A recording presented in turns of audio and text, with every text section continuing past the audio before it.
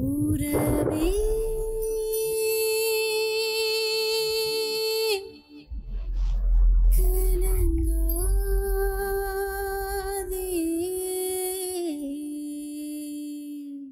IBC Tamil சொந்தங்களுக்கு வணக்கம். சைனோலிங் Toronto கனடாவில் இருக்கக்கூடிய நிறுவனத்தினுடைய அரசனோடு நடைபெற்றுக் கொண்டிருக்கின்ற உறவுப்பாளர் நிகழ்ச்சிக்கு உங்கள் அனைவரையும் அன்புடன் வரவேற்கின்றோம். இன்றும் கூட ஒட்டி சுட்டான் இடதுகரை என்கின்ற கிராமத்தில் இருந்து கொண்டிருக்கின்றோம். இங்கே இருக்கக்கூடிய ஒரு மாவீர குடும்பத்தினுடைய வீட்டை பார்ப்பதற்காக வந்திருக்கின்றோம். அவருடைய நிலைமையை அவருடைய மனைவி அவருடைய குழந்தைகள் இன்று அவருடைய வாழ்க்கை எப்படி இருக்கின்றது என்னென்ன பிரச்சனைகளுக்கு முகம் கொடுக்கின்றார்கள் என்பதை கேட்டு அறிந்து தெரிந்து கொள்வதற்காக வந்திருக்கின்றோம். வாருங்கள் நேரடியாக நிகழ்ச்சிக்கு செல்லலாம். அவளோட கதைச்சுப்பான்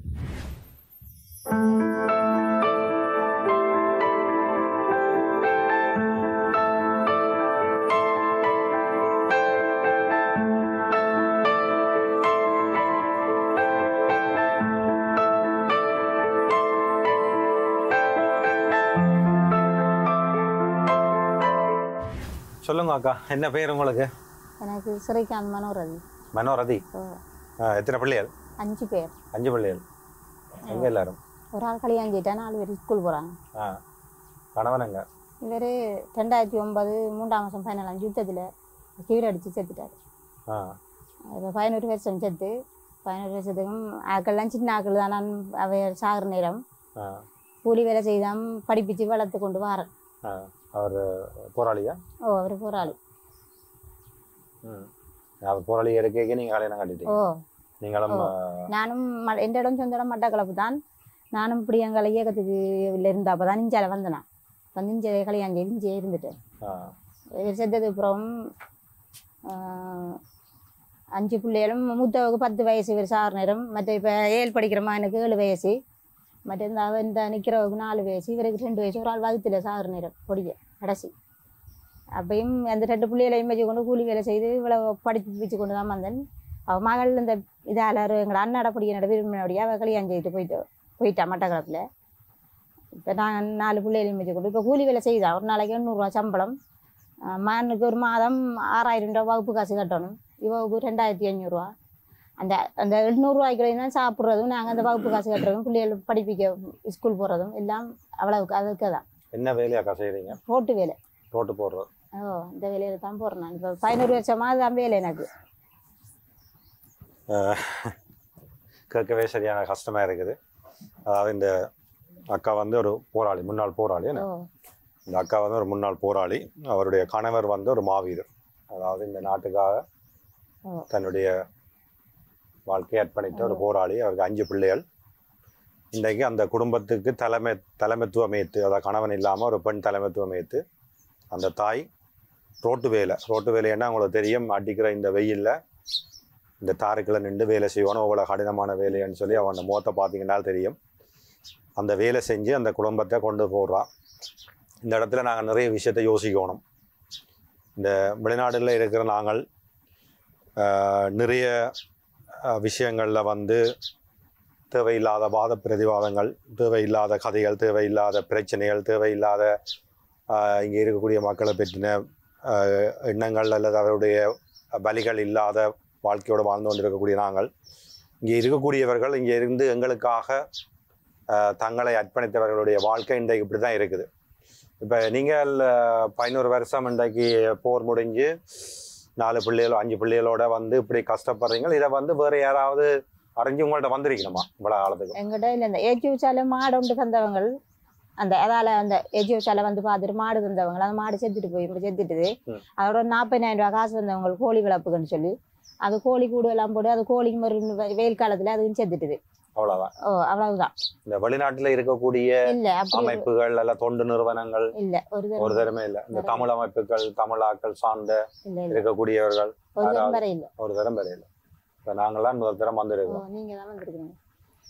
நீங்க எப்படி அக்கா உணர்றீங்க? இவ்வளோ காலமும் இந்த பிள்ளைகளோட இவ்வளோ கஷ்டப்பட்டு இவ்வளோ நிலைமைக்கு இப்படி போய்க்கொண்டிருக்கிறத இப்படி பார்க்குறீங்க நான் பார்க்குறேன்னு என்ன சொன்னா ஏதோ கஷ்டப்பட்டு இந்த பிள்ளைகளை படிப்பிச்சு விட்டா அதுகள் சரி எங்களை இல்லாம அதுகளும் நாளைக்கு எங்களை இப்படி வெயில் இருந்து கஷ்டப்படாம ஒரு படிச்சா ஒரு அரசாங்க உத்தியோகத்துல இருந்து ஒரு சின்ன வேலை சரி கிடைச்சா அதுகள் நிம்மதியா வாழுங்களேன் படிப்பு தான் எனக்கு முக்கியம். அந்த படிப்பு அந்த நாலு பிள்ளைகளும் படிச்சுட்டு விளையாண்டு சொல்லி சொன்னா அதை பத்தி எனக்கு செத்தாலும் எனக்கு கவலை இல்லை.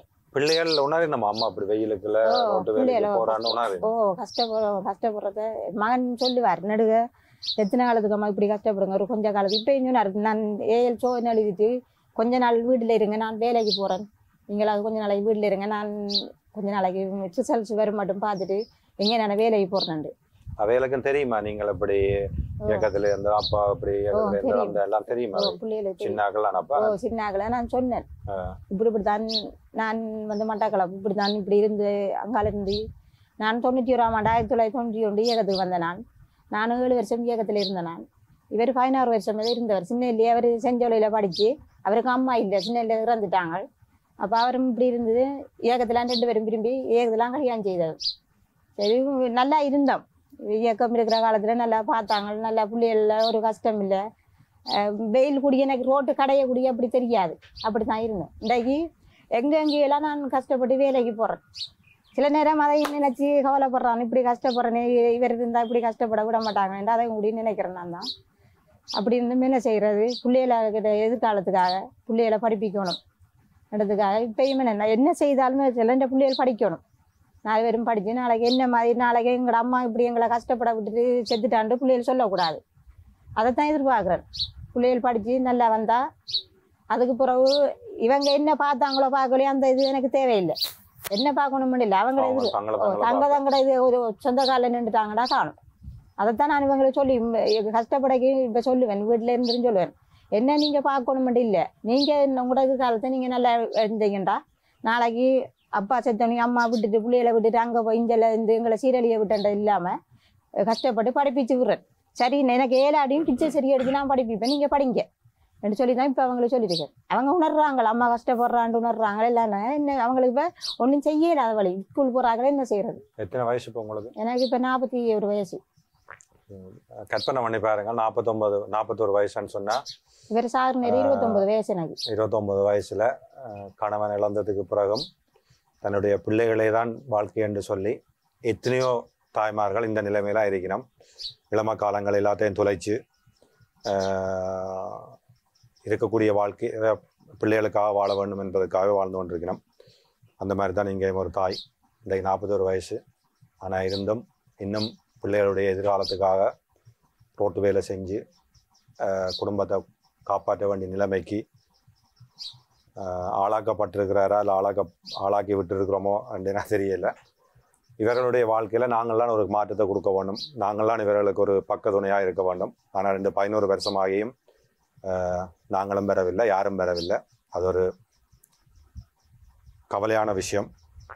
இவரை மாதிரி இன்னும் எத்தனை பேர் எத்தனை இடத்துல இருக்கக்கூடும்.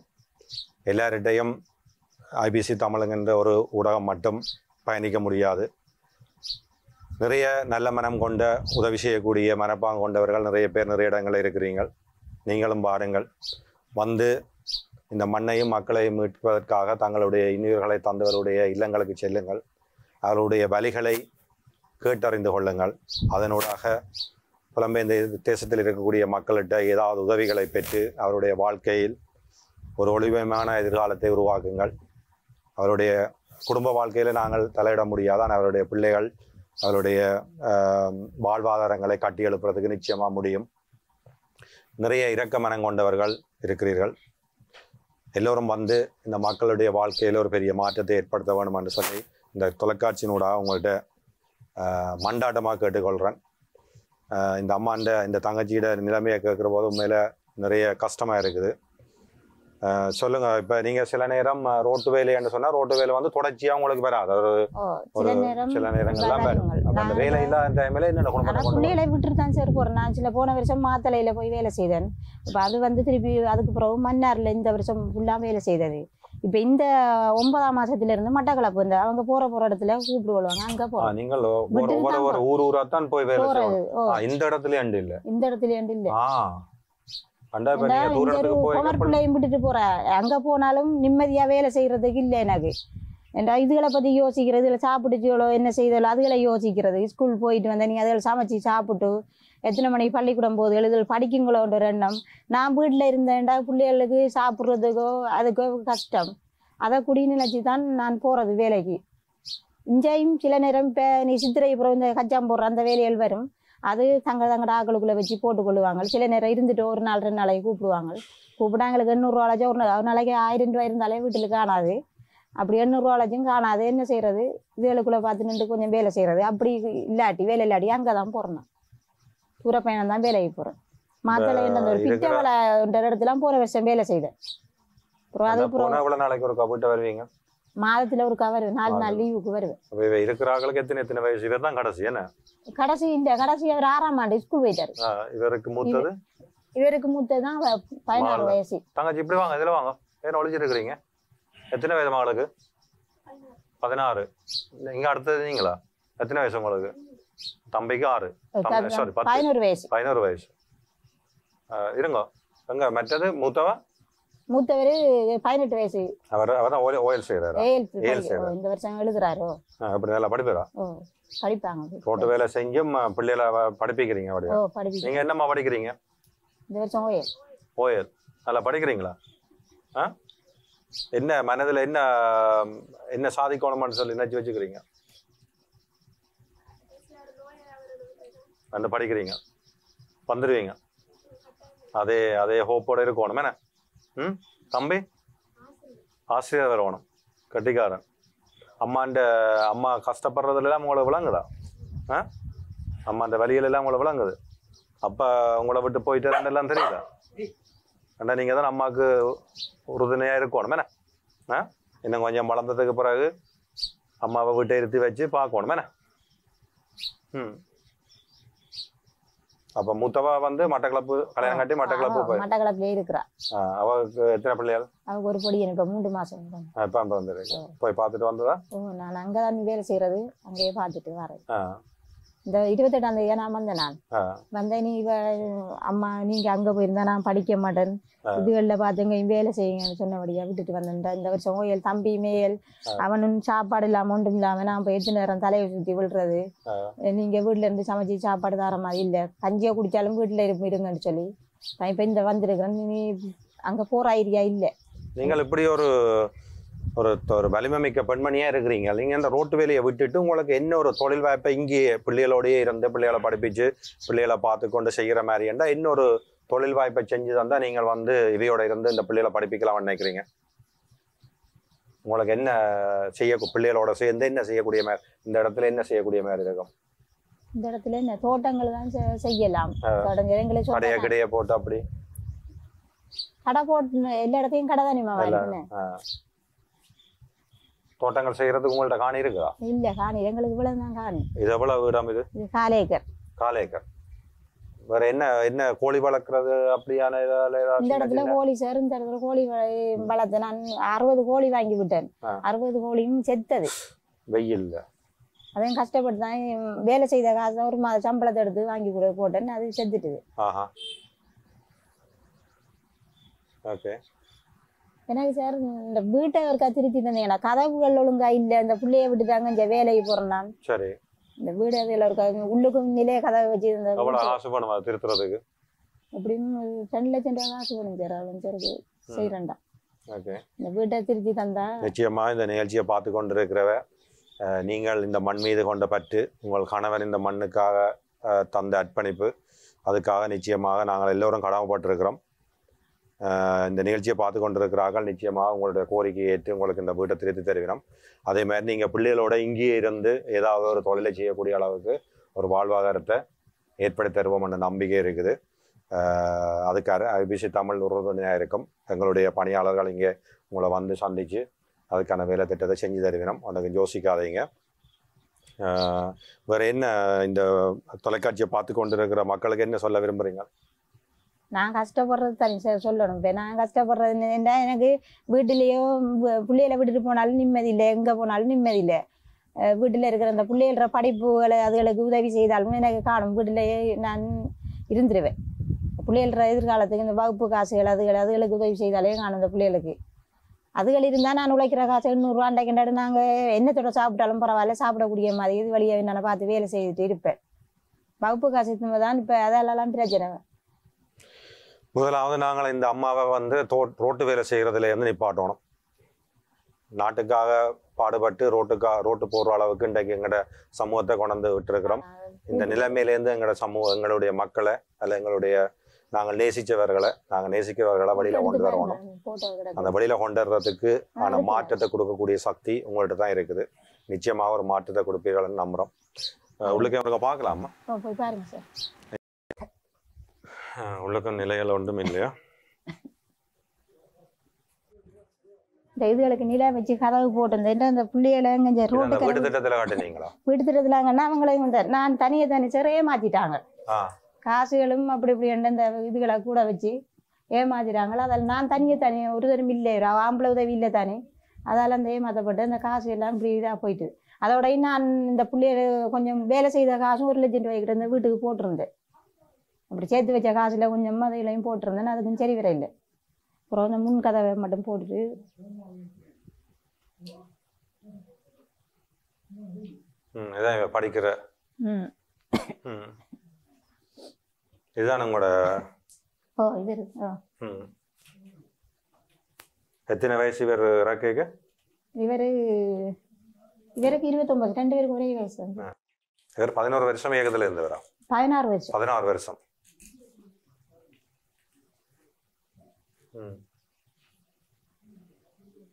யார்கிட்ட ஹேண்ட் யார்கிட்ட ஹை எழுது யார்கிட்ட எழுது ஆ அழகான எழுத்தம்மா ஆ கட்டிக்காரி அச்சடிச்ச மாதிரி எழுதியிருக்கிறீங்க மனதில் வச்சிருக்கிற குறிக்கோள்ல இருந்து தளரக்கூடாது படிச்சு இவ மருதனோட எடுத்து செம்பியன் தான் சார் அது ஆ மூன்றாம் ஆண்டுல யார் மூன்றாம் ஆண்டுல தமிழுக்கு ஏ எடுத்து வரலாறுக்கு ஏ இருக்குது அவற்ற அவற்ற குறிக்கோள் மூண்டே எடுக்கணும் வந்து ஆ எப்போ எக்ஸாம் அது? இந்த எட்டாம் மாசம். எட்டாம் மாதம். எடுத்து மூண்டே எடுத்த உடனே அடிச்சு சொல்லுங்க அந்த மாமாக்களுக்கு வந்து அண்ணா ஒரு பேட்டி எடுக்கணுமா? அப்படி வைராக்கியத்தோட இருக்கணும். பாத்தீங்களா அவர் என்ன அவர் என்ன நினைக்கிறாருன்றதை இப்பவே முன்கூட்டியே பிளான் பண்ணியிருக்கிறார் நான். இதை அடையணும் அதே மாதிரி தான் நீங்களும் எழுதி வைங்க. என்னுடைய எதிர்காலம் வந்து நான் ஒரு வக்கீலாக இதே இதுல ஏய் தான் எடுப்பாரு. அவர் படிக்கிறதுல முதலாம் பிள்ளையா தான் வருவார் ஒட்டிச்சுட்டாம் பள்ளிக்கூடத்துலாம் படிக்கிறாரு. கட்டிக்காரன் ஓ எல்லாம் உங்களுடைய உங்களுடைய வழிகள் தான் பிள்ளைக்கு அந்த ஒரு வைராக்கியத்தை கொடுத்துருக்கேன்னு மூத்தவும் நல்லா தான் படிச்சிருந்தார் சார் அவ நல்ல ரிசல்ட்ஸ் ஒன்பது பாடமும் ஏஎல் எழுதுற கட்டத்துல குழப்பிட்டான் அவன் இப்படி தாங்க அவங்க நவோட கஷ்டப்படாததே இல்லை. நான் இவ்வளோ கஷ்டப்படு இந்த படிப்புக்கு செலவழிச்சிருப்பேன். இன்னைக்கு சில நேரம் சில நேரம் பேசுகிறேன் நான் சில நேரம் கதைக்க அதுவும் கதைச்சாலே அவளோட சண்டை பிடிக்கிறேன் நான். இப்போ நீங்கள் ஒரு இந்த இருக்கிறண்டா இப்போ ஒரு கம்பேஸில் இருந்திருப்பா. இது இப்போ இன்னொரு ரெண்டு லட்சம் ரூபாய் இருந்தால் ஃபுல்லாக கொங்கிரீட் எல்லாம் போட்டு நிலையெல்லாம் போட்டு செய்ய காணுமா? அதான் என்ன இந்த எனக்கு இந்த அதான் இந்த ரெண்டு லட்சம் ரூபா காணாத அஞ்சாறு என்ன செய்கிறேன் அதை என்னாலும் செய்து தந்துட்டா ஒரு புண்ணியமாக இருக்கும். ஏண்டா? இவ குமார் பிள்ளையை விட்டுட்டு நான் அங்கே இங்கே ஒரு உள்ளுக்கு வீடு அடைப்பில் அந்த கதவு தட்டுனு அப்படியே வெளியில் வெளியில் நின்று கையால் தட்டுனு வந்துரும் சார்.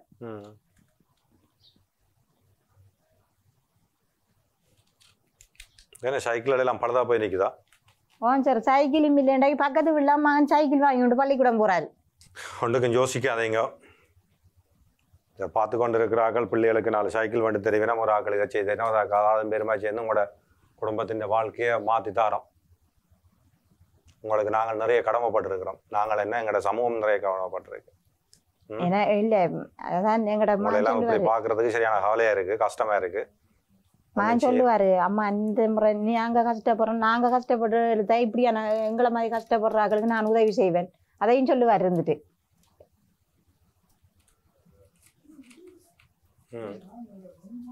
என்னண்ட வெள்ளார சொதிய வைக்க போறீங்க?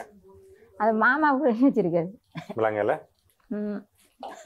வெள்ளாரையும் முருங்கையிலையும் மீன் கறி வச்சிருக்கிறேன் சார் முருங்கைக்கீரை வறுக்க அப்புறம் ம் அஹ், சரி உறவுகளை நிகழ்ச்சியின் நிறைவு கட்டத்துக்கு வந்திருக்கிறோம் நாங்கள் போகிற இடமெல்லாம் பின்னால் நிறைய வாகனங்கள் வந்த வண்ணமே இருக்கின்றது. அதுக்கு மத்தியிலும் எடுத்த காரியத்தில் தொடர்ச்சியாக கொண்டு செல்ல வேண்டும் என்ற நோக்கத்துக்காக இந்த உறவு பாலம் என்று ஒட்டி சுட்டான் வரை வந்திருக்கின்றது. இங்கே பார்த்தீர்கள் என்று சொல்லி சொன்னால் ஒரு முன்னாள் போராளியினுடைய குடும்பம். அவம் ஒரு முன்னாள் போராளி. இன்று அவருடைய நிலைமை எப்படி இருக்கிறன்னு சொல்லி சொன்னால் ரோட்டு போகிற வேலைக்கு போய் தன் குடும்பத்தை காப்பாற்ற அளவுக்கு அவருடைய நிலைமை இன்று இருக்கின்றது. இந்த நிலைமையிலிருந்து இந்த குடும்பம் மீள வேண்டும். ஒரு நல்ல நிலைமைக்கு வர வேண்டும். அழகான ஐந்து பிள்ளைகள். அதிலே ஒரு பிள்ளை திருமணமாகிவிட்டது. குடும்ப சூழல் காரணமாக சின்ன வயசிலே திருமணமாகிவிட்டது. இருக்கக்கூடிய நாலு பிள்ளைகளும் இலட்சியத்தோடு படித்து கொண்டிருக்கின்றார்கள். அவர்கள் ஒருத்தர் வக்கீலாக வர வேண்டும் ஒருத்தர் ஆசிரியராக வர வேண்டும். ஒருத்தர் தன்னுடைய ஏ லெவல் பாடத்திலே தான் மூன்று ஏ சித்தியடைய வேண்டும் என்று சொல்லி ஒரு இலக்கை நோக்கி பயணித்து கொண்டிருக்கின்றார்கள். ஏண்டா அந்த தாயினுடைய வலி அவர்களை மென்மேலும் அவளுடைய வாழ்க்கையை நேர்த்திப்படுத்தி கொண்டிருக்கின்றது. அவர்களுக்கு உறுதுணையாக இருக்க வேண்டிய கடமை எங்கள் எல்லோருக்கும் இருக்கின்றது. ஏனென்று சொல்லி சொன்னால் அவர்கள் தங்களை எங்களுக்காக அர்ப்பணித்தவர்கள். அந்த வகையிலே இந்த நிகழ்ச்சியை பார்த்து கொண்டிருந்த ஒரு உறவு பிரான்சில் இருக்கக்கூடிய டைமண்ட் ஹவுஸ் என்கின்ற ஒரு நகை மாடம் பரிசிலே இருக்கின்றது. அவர்கள் ஒரு ஐம்பதனாயிரம் ரூபா காசை உங்களுக்கு தந்திருக்கின்றார்கள். அவர்கள் சார்பாக இந்த காசை உங்களிடத்தில் கையளிக்கிறேன். இது மட்டும் இல்லை இந்த நிகழ்ச்சியை பார்த்து கொண்டிருக்கக்கூடிய புலம்பெயர்ந்த தேசத்தில் இருக்கக்கூடிய ஏராளமான எங்களுடைய உறவு உறவுகள் உங்களுக்காக நிச்சயமாக உதவி செய்வார்கள். உதவி செய்ய வேண்டும் என்று உரிமையோடு கேட்டுக்கொள்கின்றேன் ஏனென்று சொல்லி சொன்னால் இது எங்களுடைய கடமை. உங்களை ஒரு நல்ல நிலைமைக்கு உங்களுடைய குடும்பத்தை கொண்டு வந்து விட வேண்டியது எங்கள் சமூகம் எல்லோருடைய கடமை. அந்த கடமையிலிருந்து நாங்கள் தப்பிக்க முடியாது. ஆனால் நிறைய காலம் தாண்டி இங்கே வந்திருக்கின்றோம். அதுக்கான மன்னிப்பை உங்களிடத்துக்கு வருகின்றோம் ஏனென்றால் பதினொன்று ஆறு பதினோரு ஆண்டுகளாக உங்களை யாருமே திரும்பி பார்க்கவில்லை. ஆனால் ஒரு நேரத்திலே உங்களையே திரும்பி பார்த்து கொண்டிருந்த ஒரு இனம் இன்று உங்கள் எல்லோரையும் விட்டு அணியப்பட்டிருக்கிறது. இதை ஏற்றுக்கொள்ள முடியாது. நிச்சயமாக இவர்கள் எல்லோரும் சேர்ந்து உங்களுடைய இந்த வீட்டை திருத்தி உங்களுடைய எதிர்காலத்தை இந்த பிள்ளையுடைய படிப்புக்காக நிச்சயமாக உதவி செய்வார் என்ற நம்பிக்கையோடு இந்த நிகழ்ச்சியை நிறைவுக்கு கொண்டு வருகிறோம் இறுதியாக நீங்கள் ஏதாவது இந்த நிகழ்ச்சியை பார்த்து கொண்டிருக்கிற மக்களுக்கு சொல்ல நினைச்சா சொல்லலாம். அதான் சார் எந்த எந்த பிள்ளைகள் எதிர்காலத்துக்கு எந்த பிள்ளைகளை படிப்பிச்சு அவங்க விட்டாங்கன்னு சொன்னால் அவங்களுக்கு நான் நிறைய கடமைப்பட்டு இருப்பேன். எனக்கு வேற ஒன்றுமே தேவை ரெண்டு பிள்ளைகள் படித்து இந்த வீடை ஒரு கத்திருத்தி தந்தாங்கன்னு சொன்னால் அதே காணும் மற்றும்படி நான் உழைச்சி சாப்பிட்றதுக்கு அது பிரச்சனை இல்லை. ஏதோ செய்து நான் சாப்பிட கொடுப்பேன். இந்த படிப்புக்கு உதவி செய்து இந்த வீடுகளுக்கு உதவி செய்து தந்தாங்கடா அவங்களுக்கு நான் சாவு நான் சாவு மட்டும் சாகிற நேரமும் நன்றி சொல்லிட்டு தான் சாகும் சார். அப்படி செய்தாங்கன்னு சொன்னேன். இந்த வார்த்தைகள் வலிமை மிக்கது. நிச்சயமாக இந்த வார்த்தைகள் உங்கள் காதுகளை வந்தடை அடைந்திருக்கும். இந்த நிகழ்ச்சியை பார்க்கின்ற பொழுது நிச்சயமாக நீங்கள் எல்லோரும் உங்களாலான உதவியை ஐபிசி தமிழின் ஊடாக செய்யலாம்.